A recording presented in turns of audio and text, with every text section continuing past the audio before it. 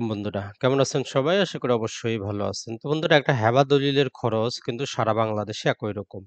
সেটা হেবা হোক declaration of হেবা হোক বা হেবার ঘোষণাপত্র যে নামেই দিক, সারা বাংলাদেশে সম্পত্তির ভ্যালুয়েশন যাই হোক, খরচ একই থাকবে। আপনি চাইলে নিজেও দলিল ডট কম থেকে গিয়ে আপনি কি করতে পারেন? কত টাকা আপনার খরচ হচ্ছে সেটা আপনি দেখতে পারেন। তো আমরা আজকে দেখব যে আসলে এই দলিল ডট কম এর খরচের সাথে বাস্তবে যে রেজিস্ট্রেশন অফিসে যে খরচটা হচ্ছে সেটার সাথে মিল আছে কিনা। তো এই চিত্রে আমরা জাস্ট যদি এখানে একটু দেখার চেষ্টা করি, এখানে আমরা কি পেলাম? এখানে আমরা দলিল ডট কম থেকে যে হিসাবটা সেটার সাথে বাস্তবে যে দলিলটা রেজিস্ট্রেশন হচ্ছে, ওইটার সাথে আমরা মিলিয়ে দেখব। তো বন্ধুরা প্রথমে আমরা এখানে যে জিনিসটা দেখতেছি সেটা হচ্ছে যে রেজিস্ট্রেশন খাতের যে খরচ সেটার কথা বলতেছে। এখন রেজিস্ট্রেশন খাতে যে টাকাগুলো খরচ হচ্ছে, আমরা যদি জাস্ট একটা দেখা করি বলতেছে রেজিস্ট্রেশন ফি হচ্ছে একশো টাকা। এই একশো টাকাকে দলিলের মধ্যে যদি আপনি খুঁজেন যে কোথায় পাবেন, এইখানে দেখেন আপনি বত্রিশ অবলিক চার লিখা, এরপরে এ ফি একশো টাকা লিখা আছে। এটাই হচ্ছে আমাদের রেজিস্ট্রেশন ফি এরপরে যদি আসি আমরা স্টাম্প শুল্ক এক হাজার টাকা, পূর্বে অবশ্য কম ছিল, এখন এক হাজার টাকা করা হয়েছে।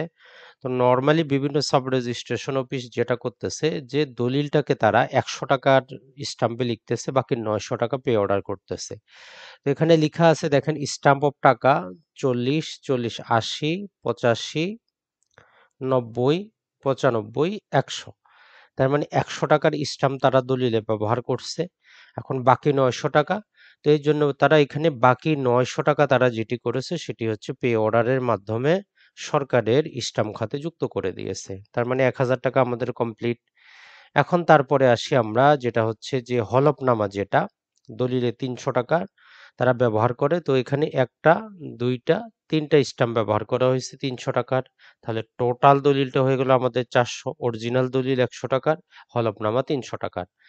এখন হলফনামার আবার রেজিস্ট্রেশন ফি ই ফি আছে। ই ফি হচ্ছে হলফনামার রেজিস্ট্রেশন ফি তো এখানে দেখেন দলিলের মধ্যে আমরা একশো টাকা পাচ্ছি।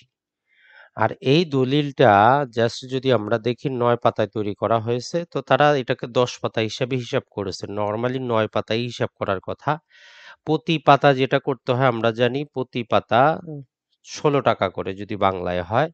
তো এর জন্য অ্যানফি দেখেন একশো ষাট টাকা। দশ পাতা হিসাব করেছে তারা ষোলো টাকা করে একশো ষাট টাকা।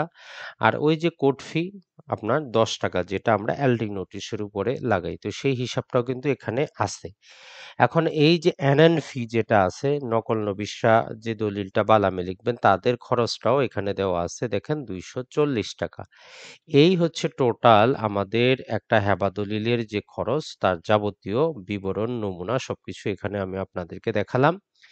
এরকম আপনার সামনে যদি কোনো দলিল আসে, দলিল লেখক যাই কিছু বলুক, দিন শেষে আপনি দলিলটা দেখেই বুঝতে পারবেন সরকার কত টাকা পাইল।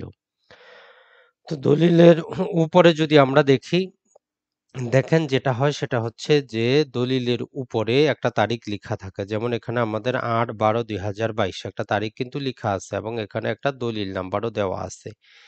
তো এই যেটা হচ্ছে সেটা হচ্ছে আমাদের এইখানে আট বারো দুই এটা হচ্ছে যে সাব রেজিস্টার যেদিন স্বাক্ষর করল, সেই জিনিসটা এখানে দেওয়া আছে। এই সার্টিফাইড কপিটা ইস্যু করার জন্য নর্মালি যেটা হয় সেটা হচ্ছে যে দলিলটা সাব রেজিস্ট্রারের কাছে সাবমিট করা হয়েছে পাঁচ বারো দুই এটাই হচ্ছে দলিলের তারিখ, এতটুকু মনে রাখবেন।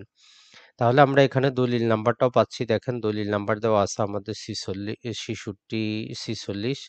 আর হেবার ঘোষণা সম্পত্তির দেওয়া আছে, সম্পত্তির মূল্য দেওয়া আছে।